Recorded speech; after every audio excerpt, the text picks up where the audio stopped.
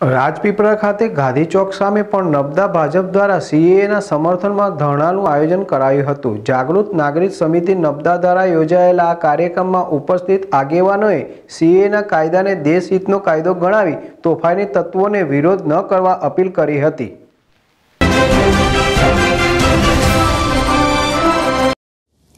નાગરિક સંશોધન કાયદાનો સીડબલએ હાલ દેશભરમાં ભારે વિરોધ થઈ રહ્યો છે. બીજી તરફ ગુજરાતના અમદાવાદ વડોદરામાં પણ વિરોધ દરમિયાન ગંભીર સ્થિતિનું નિર્માણ થયું છે.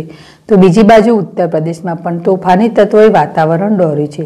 આ વિરોધ પ્રદર્શનને લીધે દેશની પ્રજામાં સીડબલએ વિશે સાચી સમજ આપવા ભાજપ દ્વારા જનજાગૃતિ અભિયાન ચલાવવાનું નક્કી કર્યું હતું. જે અનુસંધાને ગુજરાતના તમામ જિલ્લાઓમાં ભાજપ અને સીડબલએનું સમર્થન કરતી વિવિધ સેવાભાવી સંસ્થાઓ દ્વારા રેલીનું આયોજન કરાયું હતું. રાજપીપળા ખાતે બીજેપીના ધરણા કાર્યક્રમ ગુજરાત પ્રદેશ.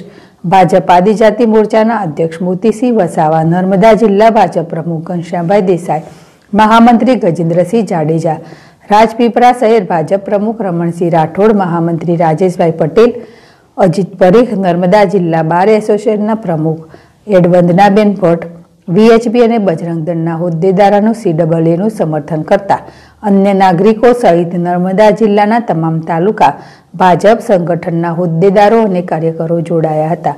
આ પ્રસંગે વિરોધ પ્રદર્શનને લીધે દેશની પ્રજામાં સીડબલ્યુ વિશે સાચી સમજ આપવા લોકોને સમજ આપી હતી. દીપક જગતાપ, જેડેશ ટીવી રાજપીપળા